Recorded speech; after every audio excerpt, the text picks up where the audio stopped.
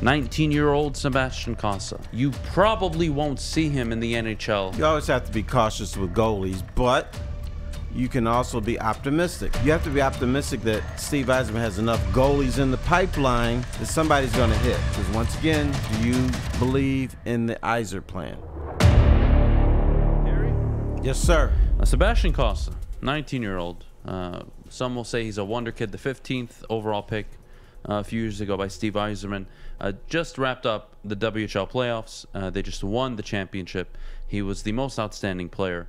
He had won, I believe, his five player of the week awards uh, during that stretch. He has been phenomenal. A sub two goals allowed on average. Uh, the kid is playing at an exceptional level. My question, Terry, is it's not often we see a 20, 21, hell, even 22 year old goalie, rookie, walk into the NHL and just hit. Uh, goalie is a position that takes a lot of time. And in the WHL, you're playing up against, I don't want to say the not the best competition, but let's just call it what it is. Once you get to the AHL, you're going to see a lot of kids, oh, not kids, you're going to see a lot of guys that will be called up to the league and sent back down to the minors. You're going to be going up against much better players. So, caution in the wind, maybe with Sebastian Cossa, but the kid looks legit. You always have to be cautious with goalies, but you can also be optimistic that this could be the guy. You have to be optimistic that Steve Yzerman has enough goalies in the pipeline that somebody's going to hit.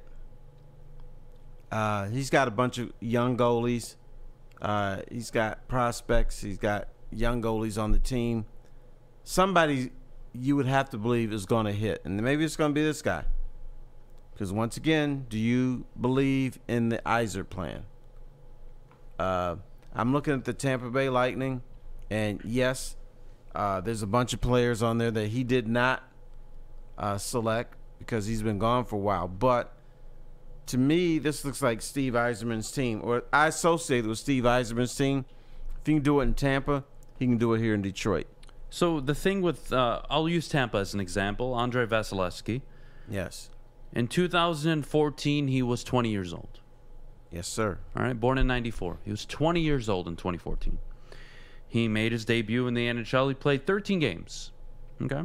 In his second season at age 21, he played 21 games. Scoot. At age 22, he played 47 games. And then at age 23, he took over the reins completely for the Tampa Bay Lightning, where he then, since then, has started 65, 53, 52, 42, short season, by the way, and then a 63, uh, 63 games in a season. He's their guy, right? He's he became guy. their guy at 23. Third in the Vezina Award. First, uh, um, a two-time All-Star, Conn Smythe winner, Vezina winner. Uh, finished in the top three in the Vezina Award four consecutive years. Likely, this will be the fifth, and he may even have a chance to win it. Having said all that, this is a guy. Let's just again, 19-year-old Sebastian Cossa. If I just use what is successful around the league, you probably won't see him in the NHL till the end of next season, and then he'll play 15 maybe games to 19 his second year, and maybe year three Yzerman pushes him up maybe earlier, and he's just that good, and he can take it over at 22, or you wait till he's 23. All I know is next year he's going to get called up, get five, six, seven starts, I believe. That's what I would do at 20 years old.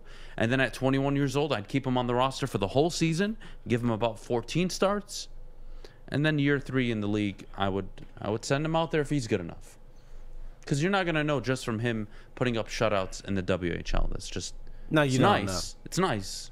It's uh, conv- it's encouraging is the word. It's encouraging to see, right? Well, he's not giving up nine goals a game or something stupid like that. No, and that, like that and that's always a possibility. But um, the the big word, the p word, is what you're kind of hinting at is patience. yep. Um, I don't think you need that goalie to take the next step. And to me, the, for the Wings, the next step is getting in the playoffs with a five or six seed. You don't need that guy to get there. you probably need that guy to take the the step after that. Not only making the playoffs, but being a pain in the ass to play, being somebody that can win just about any series that they're in. So um, the timetable seems right. You know, if you're talking four years down the road, it that might be the perfect fit for the Wings to have him in place and to be that goalie that's going to win you some playoff games or some playoff series. 100%.